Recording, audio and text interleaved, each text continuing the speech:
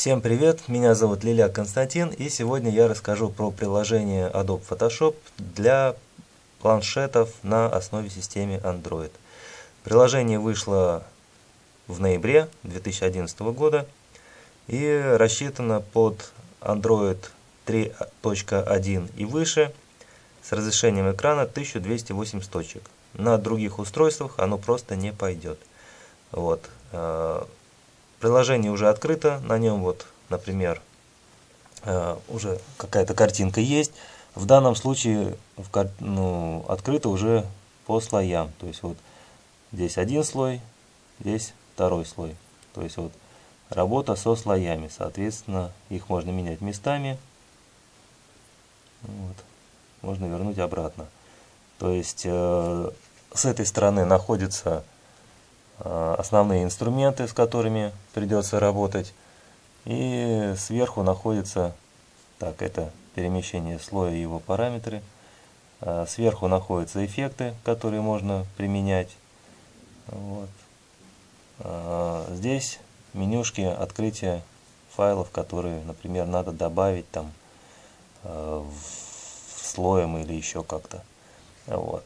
Например, будем рассматривать работу вот с этой картинкой и попробуем просто убрать отсюда птичку. То есть операция простая, делается элементарно э, функции штампа, то есть подбирается размер штампа, вот, например, такой, и указывается точка, откуда брать, например, текстуру штампа.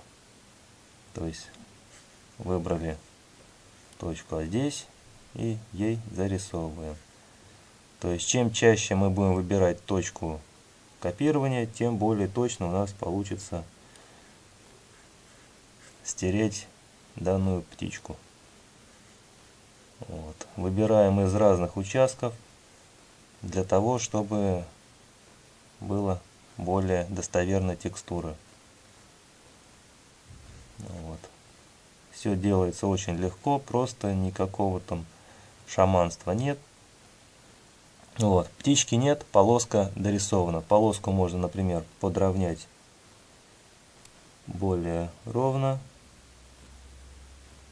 Вот. Все, птички как и не было. Далее, например, можно э, попробовать функцию магической кисточки, ну как бы выделения и перекрасить цвет обода из красного, например, в розовый или малиновый. Сейчас попробуем там, какой получше будет. А, выделили красный цвет, к нему уже добавлено, можно выделять похожие оттенки. Вот, например, вот этот добавим. И теневые участки красного тоже добавляем для изменения палитре. Так, вот этот еще. Ну вот примерно так. Дальше лезем э, в настройки Color Balance.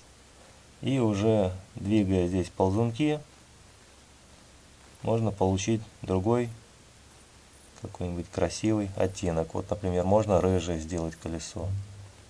Или там фиолетовое. Ну, пусть будет рыжее как-то интереснее получится. Вот. Дальше убираем выделение, Deselect. Все, у нас получается, получается такая вот картинка, в которой поменяли колесо по цвету и убрали птичку, которая была изначально.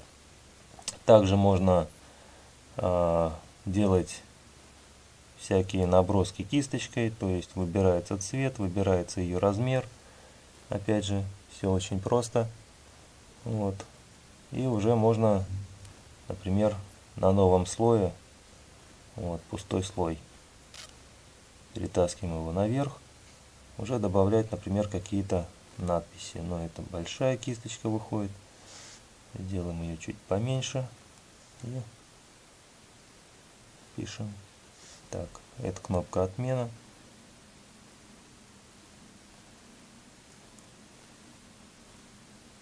Вот, например, адрес моего сайта lilac.ru. То есть этот слой можно включать, можно выключать, никаких проблем в этом нет.